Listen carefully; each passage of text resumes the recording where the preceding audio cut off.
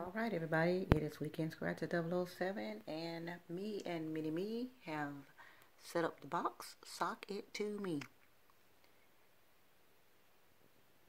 Those are the numbers that we will punch, and those are the mystery envelopes.